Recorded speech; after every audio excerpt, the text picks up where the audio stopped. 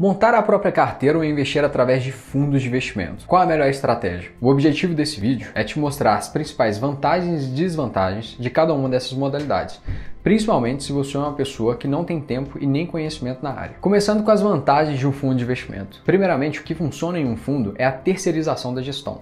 Você não precisa desprender tempo para estudar as ações, tempo para executar as ordens ou até para monitorar sua carteira. Outro ponto positivo é a estrutura profissional envolvida. Em um fundo você conta com analistas, gestores de risco, gestores de compliance, traders que juntos vão evitar que o gestor tome alguma má decisão. Mas esses profissionais não trabalham de graça. Existe um custo e ele não é barato. E essa é a principal desvantagem de um fundo, seus custos. Existem taxas de administração, taxas de performance, taxa de custódia, encargos de auditoria e até mesmo taxa de saída, que é um valor cobrado do investidor caso ele queira resgatar suas cotas antes da data de liquidação do fundo. Outra desvantagem que alguns fundos de investimentos podem ter é em relação ao chamado come cotas, que é o nome dado à perda de cotas que o investidor tem pela antecipação do pagamento de imposto de renda. Essa antecipação faz com que a rentabilidade real dos seus investimentos seja inferior àquela esperada, uma vez que esse dinheiro pago antecipado não vai rentabilizar ao longo do tempo. A outra forma de você investir seu dinheiro é montando a sua própria carteira de investimentos. Nesse caso, você tem a vantagem de ficar com praticamente todo o lucro que a sua carteira performou ao longo de um período. Vamos supor que você comprou uma carteira de ações e que em um determinado mês ela rendeu 5%. Depois de pagar as taxas da bolsa e de corretagem, que também são pagas em um fundo de investimento, todo o lucro é seu. E aí depois você vai pagar só o imposto de renda. E se algumas ações da sua carteira tiver uma performance negativa, não necessariamente é uma coisa ruim. Em alguns casos, inclusive, você pode até ser isento do imposto de renda. Mas isso é um assunto para um outro vídeo. Quais são as desvantagens de você montar sua própria carteira? Tempo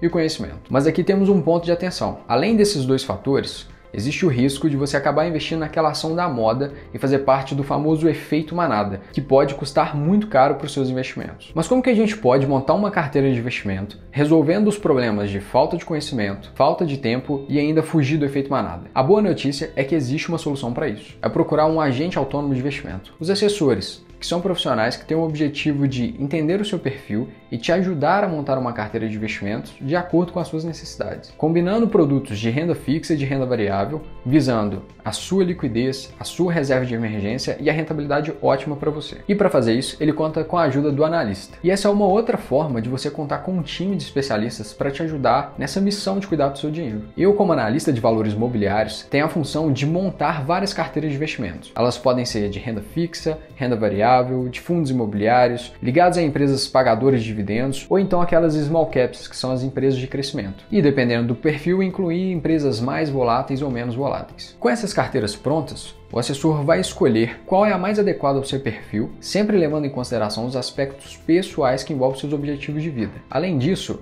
é a equipe que vai executar as ordens, monitorar os seus investimentos e fazer as reuniões para te apresentar os resultados obtidos. E tudo isso sem você precisar se tornar um especialista e ter que pagar a taxa adicional, uma vez que esses custos já estão embutidos na taxa de corretagem. A mesma taxa de corretagem que você vai pagar em um fundo de investimento. Caso você queira entender melhor como é a atividade de um assessor, vou deixar um link aqui na descrição. Outro ponto de atenção em relação à assessoria de investimentos é que não é raro encontrar pessoas com assessoria, mas que a carteira é composta por uma lista infinita de fundos com a justificativa de diversificação do risco. Se você tem um assessor e ele está fazendo isso com você, converse com ele. Bem provável que você esteja pagando algumas taxas desnecessárias nesses fundos. É importante deixar claro que essa é a visão da Hunter. Aos poucos, vamos postando mais conteúdos para te ajudar a investir, explicando a nossa proposta de trabalho. E se você se sente perdido nesse mundo dos investimentos, entre em contato com a gente que a gente pode te ajudar nesse processo. Na descrição desse vídeo também tem os nossos canais de comunicação. Mais uma coisa, você pode nos ajudar a propagar conteúdo de qualidade quando você deixa seu like e comenta no vídeo. Então aproveita e manda esse vídeo para um conhecido conhecido que só tem dinheiro aplicado em fundo de investimento. Ao fazer isso, você pode estar ajudando os investimentos dele. Para mais dicas, siga a Hunter nas redes sociais. Hoje ficamos por aqui. Obrigado.